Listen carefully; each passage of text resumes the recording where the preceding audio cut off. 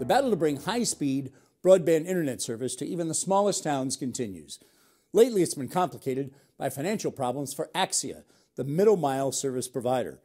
Berkshire Eagle reporter Larry Parnass has been covering this story in depth, and Larry came in to tell us more.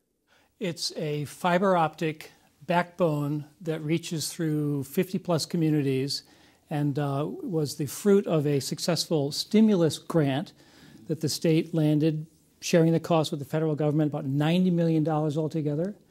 And it's this uh, ring of, uh, of cable that uh, connects community institutions to the backbone to the internet and was designed to be a uh, sort of a, a, leaping off point for last mile connections. Which gets it into homes, small businesses, yep. people like you and me. Yep. okay.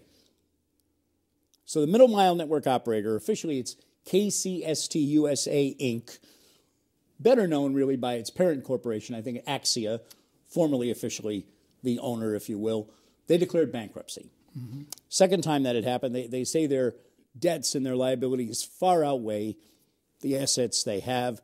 They say they didn't get the uh, community anchor institutions that they expected to get, so they're earning about half what they thought they would on this. You've pointed out that this going into federal bankruptcy court has really opened up, and I think the wording when we emailed back and forth, you said it's it's an opened an unusual window into what's going wrong here. Well, that's always the case with, uh, with litigation. Um, and interestingly, even as the, the, Massachusetts Broadband Institute would like to preserve public confidence in the viability of the middle mile, uh, their lawyers in, uh, in U.S. District Court, because there's this proceeds in two federal court venues, uh, are sort of claiming that the sky is falling if they can't secure Axia's continued uh, performance of its, of its contract. So uh, just uh, recently, the federal, a federal judge um, put a temporary restraining order in place compelling Axia to keep running this thing, and then that was just renewed through May 18th. So, in terms of uh, the operation of the of the functions that the middle mile provides, which, as you know, are really central, it's uh, fire and police con- connections to the internet, libraries, schools. It's really pretty critical. Uh, aside from the failure to yet reach most of these last mile premises and businesses. It is functioning and has since 2014 as the, as the way that these public institutions, including uh, these public safety performance uh, systems, are functioning.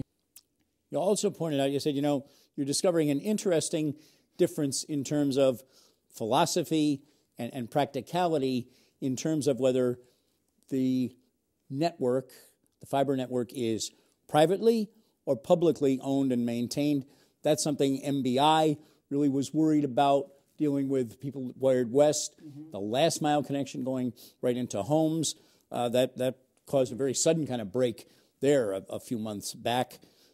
Mass Broadband Institute, MBI, Mass Tech Collaborative, which kind of oversees them. And of course, after a while, you get this alphabet soup kind of swimming in your head yeah. about it all. But you say MBI really is probably more favoring private control, if I read you right, than having it publicly maintained in some way.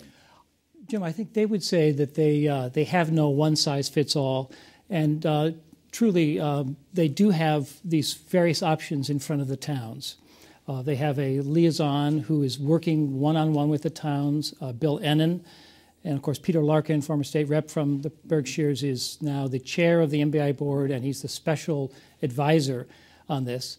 Um, but yes, I think I've heard repeatedly from MBI and Mass Tech officials that the uh, the agreements that they're working out with the, with private companies, particularly Comcast and Charter, to extend their privately owned networks, um, they think are the best deal. They keep saying it's free meaning that the towns don't have to invest taxpayer money in it.